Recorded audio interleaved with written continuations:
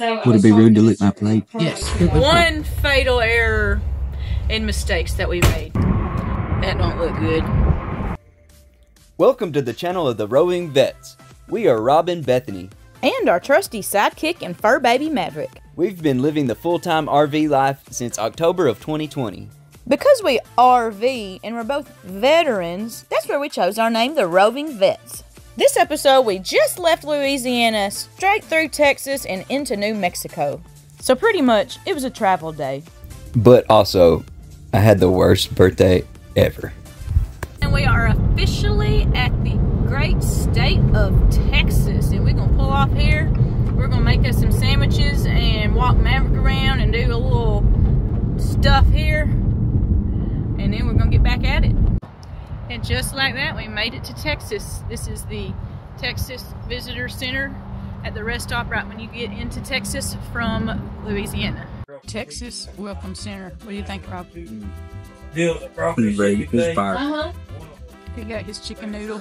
Chicken and dumplings. Oh, chicken and dumpling. My bad. Mmm, look at mine.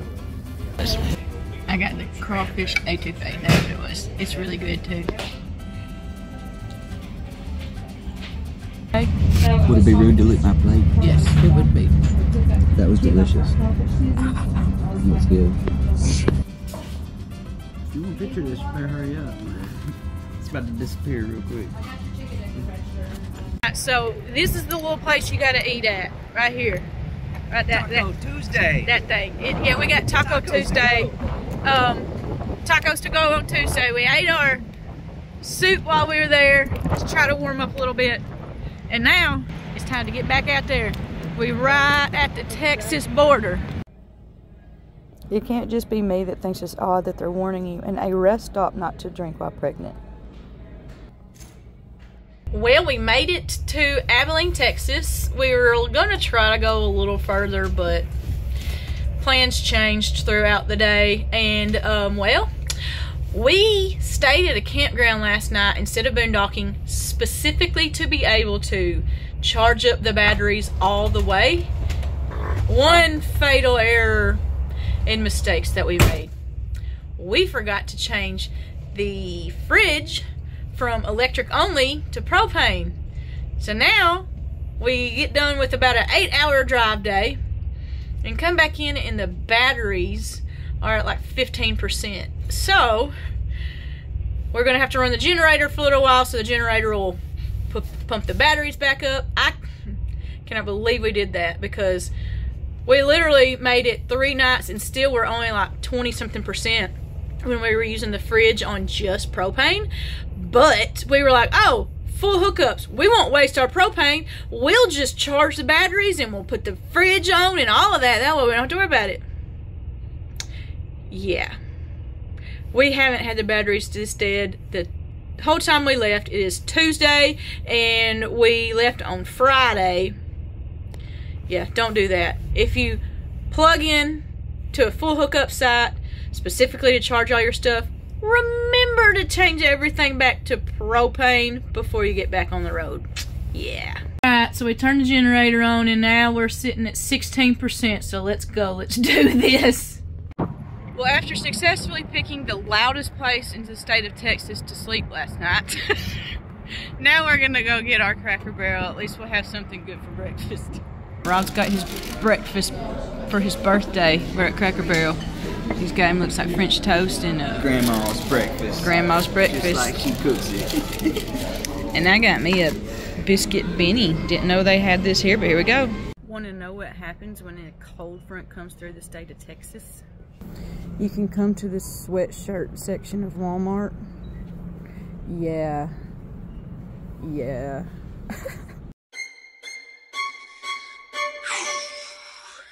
Well, that's what you don't want to see when you walk out in the morning. It's something like that, ladies and gentlemen. So, let's get it figured out. That don't look good. All right, so we are in Abilene, Texas. Got the truck dropped off to um, A Star Diesel, I think is what it's called, and they're going to check out the truck. And until then, this lot, thankfully, that this garage is in is big enough that we can keep the camper parked here. I got the slides pulled out. So I guess we're just going to have a camper day until they get our truck fixed. Happy birthday, Rob. While some people have dogs, I have a domesticated dog who sleeps on a pillow and blanket. Don't mind the shirts, it's craft day. So what's going on? Mm, I don't want to talk about it right now. So what happened? I don't really want to talk about it. Yeah, he's kind of got his feelings hurt a little bit. Well, y'all, the road to Quartzsite just got a lot more interesting because the truck just blew a head gasket. So, plan was to be in Quartzsite by the 19th. If we don't do this, it's going to cost like seven, eight grand. So instead of that, I think we're just going to do what the mechanic said to help get us to Quartzsite in Arizona. And when we get there, we'll figure it out from there. Happy birthday. Tried to be a little happier. I'm trying real hard. This is this place number one on Yelp. It is number one on Yelp. Happy, right? Right. So we're going to try it. Trying real hard. There's an onion. An onion? Oh, they did give us an onion.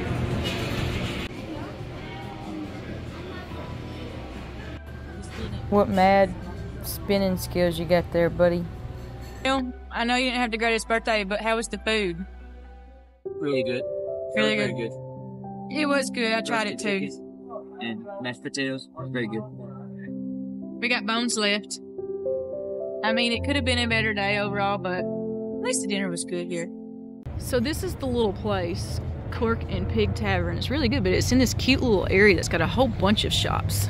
And when I say shops, I mean like little restaurants and such. So this is kind of one of those places if you wouldn't know where to go, just come here and you can find something because there's quite a few little restaurants in this little area, all in this little building. So maybe check it out. Our dinner was amazing. Uh, our server's name is Doc, and he was working at the bar, but we were at a table that was one of his, so he did great, and we loved our dinner. Rob had a good birthday meal. Might have had a terrible day, but at least he had a good meal. We even got some uh, beignets for his birthday cake instead since we didn't make him a birthday cake. It was lots of flat when we were driving last night, but we are officially hitting some of the mountains here on the west end of the country. We are very, very close to the New Mexico Texas border. Got Rob down there doing a little bit of PMCS on his truck before we get going on this road. bright and early this morning and we are on the Texas New Mexico border. Quartzsite, here we come. To New Mexico, here we go.